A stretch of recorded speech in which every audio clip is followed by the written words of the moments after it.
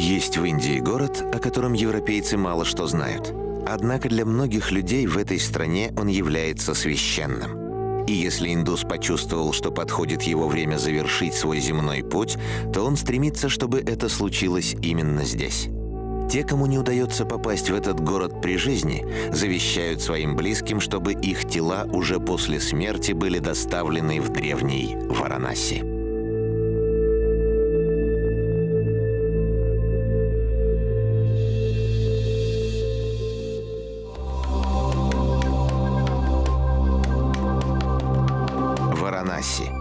Один из немногих городов Индии, в котором с такой силой отражена многовековая история индуизма. Жизнь города и сегодня строится полностью на законах и правилах этой древней религии.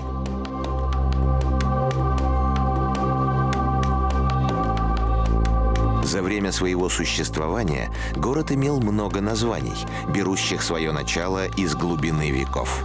Варанаси, Каши, Бенарес – причем все они являются живыми и до сих пор используются равноправно.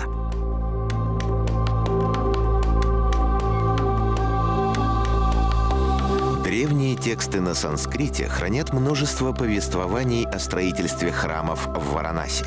В каждом из этих храмов воплощена своя религиозная идея, и каждый из них посвящен своему божеству – Поэтому неудивительно, что какой-нибудь маленький храм может не посещаться в течение года практически никем. И вдруг, о чудо, в один из дней десятки тысяч людей со всех концов Индии приходят именно сюда, в это место, и именно тут совершают религиозные обряды. Поэтому Варанаси является древним священным городом, где каждый храм — легенда — и ни одно из строений здесь не может быть лишним. Один паломник в течение года каждый день посещал новый храм. По прошествии этого времени он сказал, «До сих пор не обошел и половины святых мест».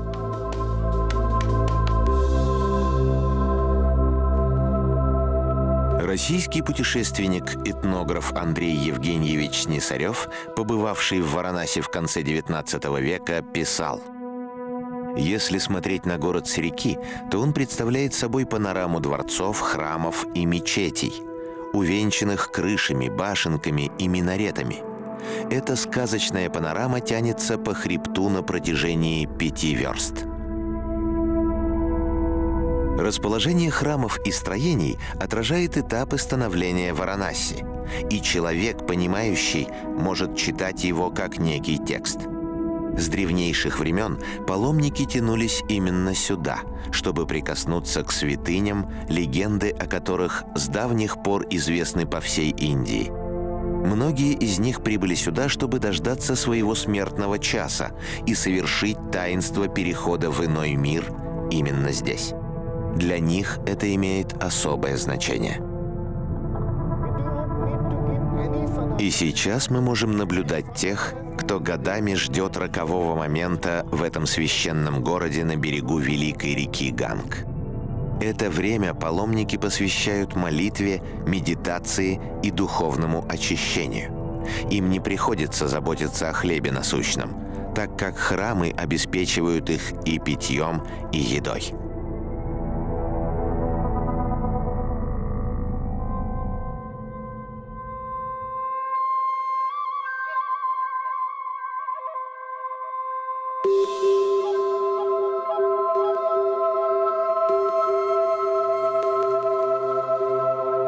Рассвете от открывающихся видов захватывает дух. Именно в это время становится понятным, почему одно из названий города – Каши. В переводе с санскрита это означает «город света». Храмы и места поклонений – все излучает свет и отражается в могучем Ганге – Река отделена от города так называемыми гатами – большими каменными набережными, которые спускаются к воде. На них тысячи верующих собираются для поклонения божествам. Всего существует более 70 гатов, каждая из которых имеет свое название и историю. Все они очень разные. На некоторых вы за год не встретите ни одного человека. А на соседней в религиозном экстазе будут танцевать и петь десятки тысяч людей. Помимо гатов, здесь также расположены храмы и сооружения, которые были построены много веков назад. Большинство из них посвящены великому Шиве, и индусы считают, что Варанаси является его вечной резиденцией на земле. Для индусов Шива является главным божеством среди множества других – в понятиях индуса Шива — это Бог-Отец, вселенская душа, которая пребывает в состоянии вечного единства со Вселенной. Шива — это совершенное сознание. Он не подвержен смерти, поэтому вечен. Над некоторыми гатами возвышаются древние большие храмы, такие как Кедришвара. В то же время существует множество мелких храмов — их размеры настолько малы, что иногда они вмещают всего лишь небольшое изображение того или иного божества. Здесь, в Варанаси, во многих храмах продолжают тысячелетние традиции религиозного образования. Молодые люди, решившие посвятить себя изучению индуизма, приезжают сюда не только со всех уголков Индии, но и из разных стран мира, в том числе из Европы. Студенты изучают древние священные тексты, постигают тысячелетнюю мудрость из уст учителей. Это именно те знания, которые посвященные передавали из поколения в поколение на протяжении многих веков. Уже на рассвете тысячи мужчин и женщин спускаются по гатам к воде Великого Ганга. Они приносят с собой цветы и дары божествам – Прямо из реки они пьют воду. Эта вода считается святой. Люди наполняют ею бутыли, канистры и даже пластиковые пакеты, чтобы отвезти своим родственникам и друзьям. В Индии такая вода, набранная в святом городе, считается особо ценным даром.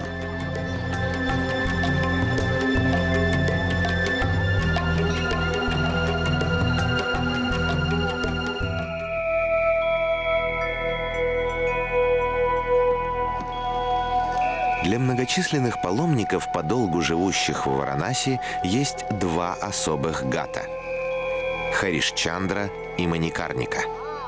Именно здесь происходит кремация тех, кто дождался своего часа, и именно здесь они совершают свой последний священный переход. Ведь умереть и быть сожженным на этой земле считается великой благодатью – Отличительной особенностью этих гатов является то, что они расположены прямо в центре Варанаси, в то время как во всех остальных местах Индии подобные сооружения выведены далеко за пределы городов. Для индусов Варанаси – это именно то место, где стоит совершить свой последний переход. В основе индуизма лежит понятие реинкарнации – Индусы верят, что после смерти душа не умирает, что она переселяется в другое тело, в зависимости от того, как человек жил. Если индус умирает здесь, то ему гарантировано мокша – полное освобождение от чередований смертей и жизней. Именно здесь на протяжении многих столетий осуществляют свой переход многие тысячи людей – они преодолевают сотни и сотни километров, чтобы попасть в Варанаси и умереть здесь, и быть сожженными именно на этих гатах. Но есть и те, кому не посчастливилось умереть в святом городе. Эти люди стремятся сюда и после своей смерти. Каждый день на поездах сюда привозят десятки тел людей, умерших вдали от Варанаси. Они оставляют завещание родственникам с просьбой, чтобы их тела были сожжены на Маникарнике и Харишчандре. Возможно, именно поэтому в Индии нет кладбищ. Здесь расположена большая площадка для сжигания тел умерших паломников. Одновременно можно наблюдать несколько костров, на которых происходит кремация трупов. Уже более двух с половиной тысяч лет здесь ежедневно совершается обряд перехода. Огонь, которым разжигают погребальные костры, поддерживается непрерывно на протяжении многих веков. Ему просто не дают погаснуть.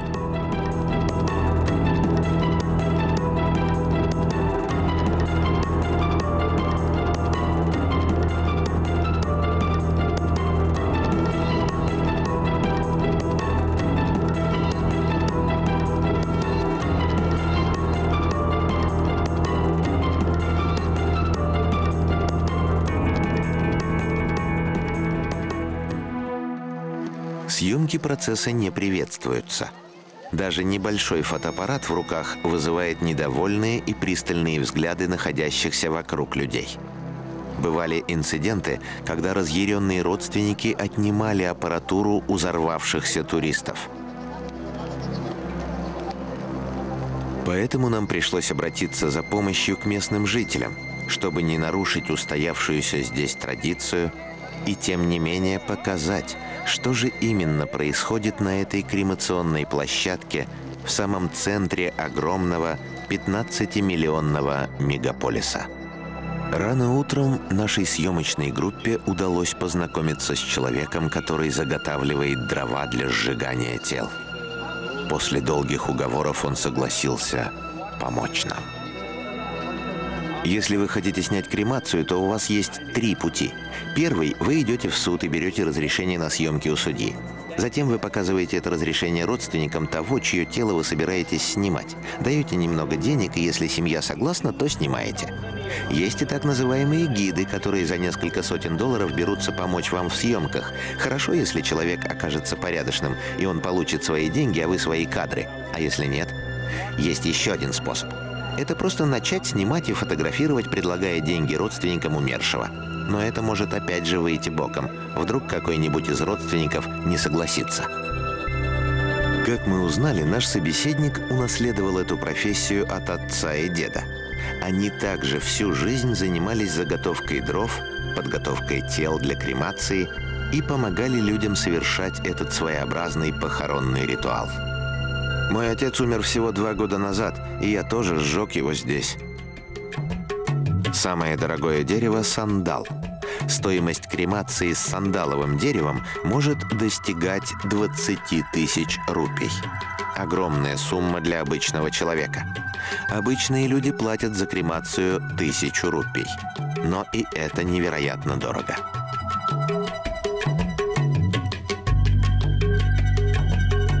Каждая деталь сакрального ритуала имеет значение, начиная от местоположения, где будет сожжено тело, и заканчивая типом дров.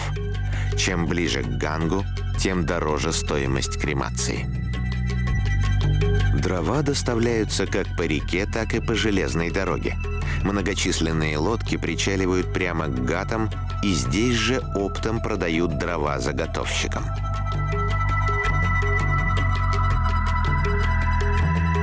Часто бедные люди покупают сандаловую стружку и посыпают ей своих умерших родственников.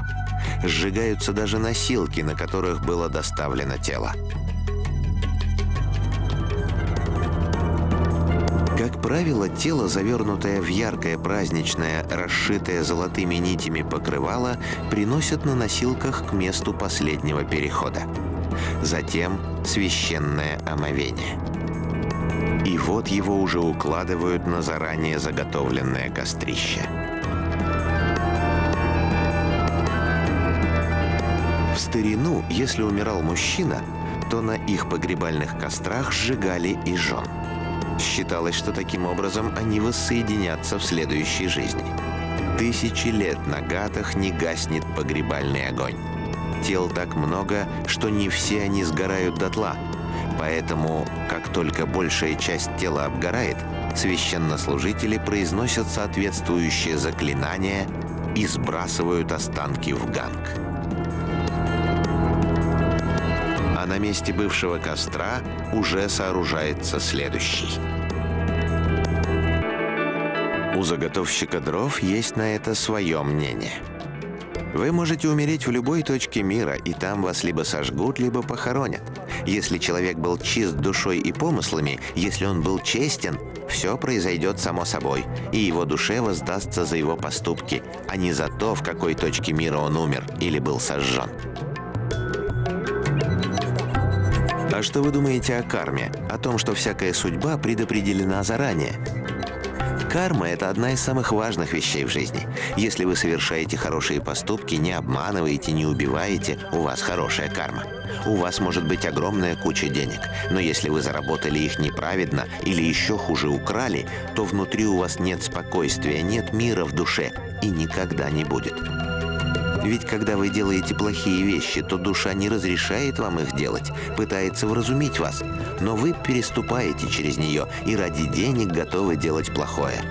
Но мы же люди, не животные. Это они не обладают разумом, а у нас всегда есть выбор.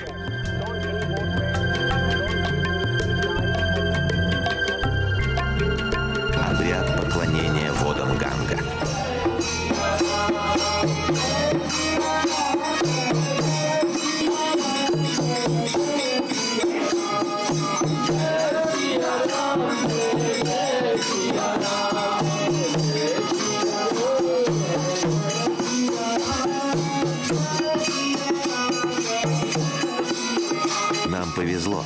Мы оказались в Варанаси в канун Нового года. И нам довелось присутствовать на большом празднике, который включал в себя и новогоднюю пуджу, обряд проведения которого проходит наиболее торжественно.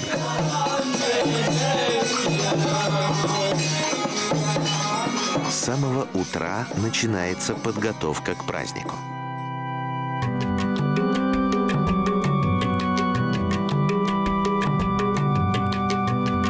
Новогодней пуджей, днем на центральном гате начинают раздавать особую пищу, которую называют просад.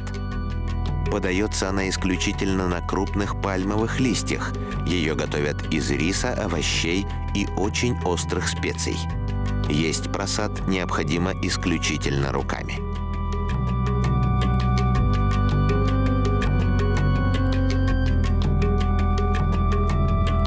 Теленок тоже не упускает возможности принять участие в праздничной трапезе.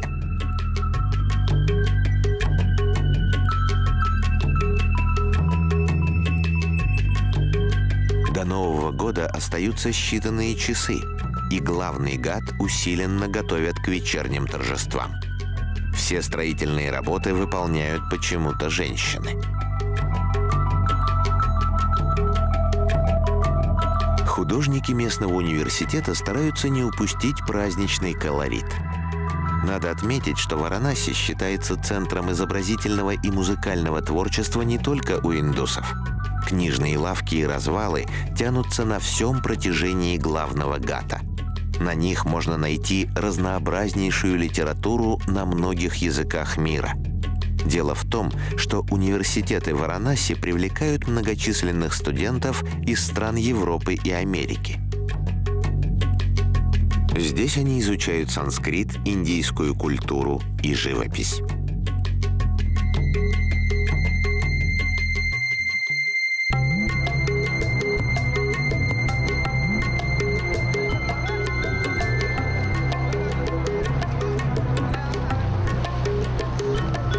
День особенно важно совершить обряд омовения. Человек, совершающий омовение в Ганге в священный праздник Нового года, очищается и внешне, и внутренне. Благодаря внешнему очищению его тело становится невосприимчивым к всевозможным болезням. Внутри же в таком человеке крепнет божественный дух.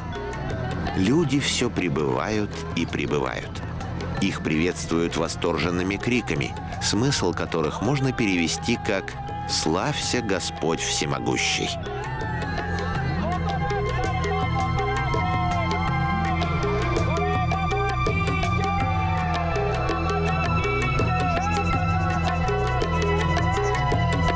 Главный гад сейчас напоминает лоскутные одеяла. Это женщины после омовения сушат свои сари прямо на набережных.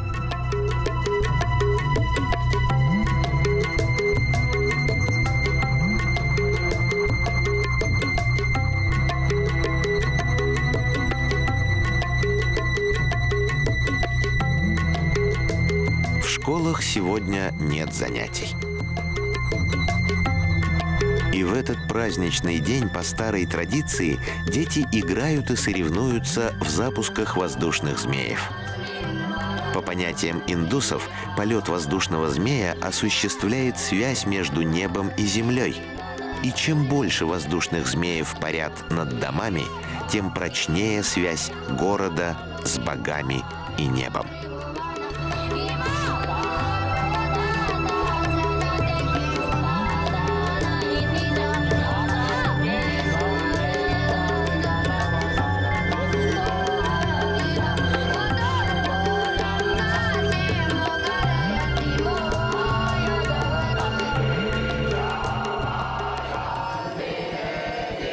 Храмах и церквях Варанаси прихожан также угощают просадом.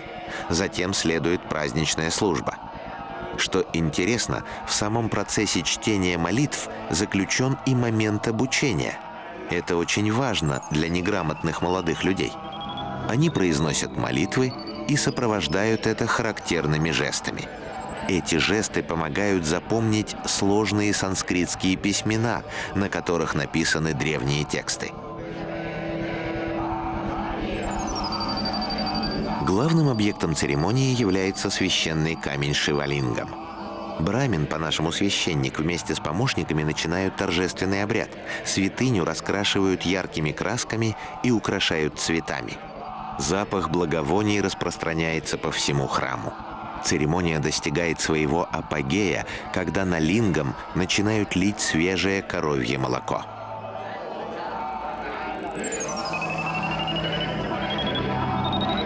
Шивалингом в представлении европейца это некий фаллический символ. Такое суждение не совсем верно. В индусской мифологии лингам – это камень Шивы, нижний и верхние концы которого простираются в бесконечность. Индусы воспринимают лингам как лишенный запаха, вкуса, цвета, который находится вне пределов слышимости и осязаемости –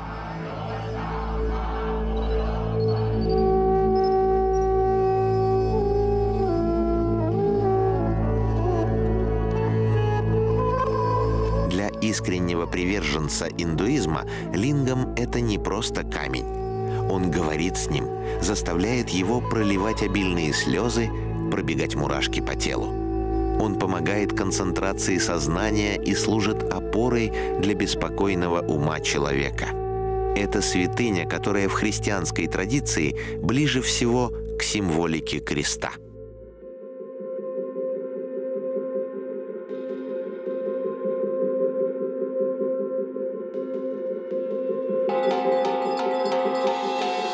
Кроме главной пуджи, небольшие группы верующих проводят торжественные церемонии поклонения Агни и Шиве. Здесь присутствуют и старые, и молодые.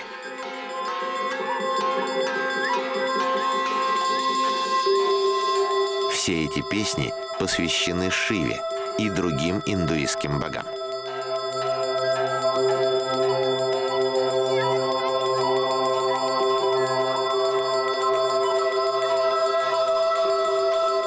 Сумерках мы берем курс на главный гад, где должна происходить большая пуджа в честь празднования Нового года.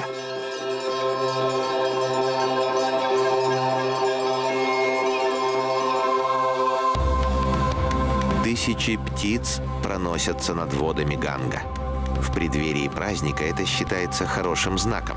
Значит, Всевышний одобряет все то, что происходит в древнем городе.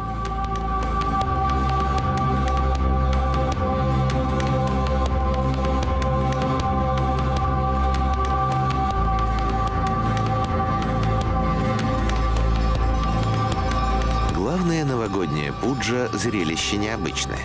Для индуса все в этом действии наполнено особым смыслом. Главное в этом огненном ритуале – поклонение священному гангу. Вхождение в Новый год в следующий временной цикл означает, что и Варанаси совершает переход. Правда, далеко не последний. А множество паломников и люди, живущие здесь, празднуют это знаменательное событие.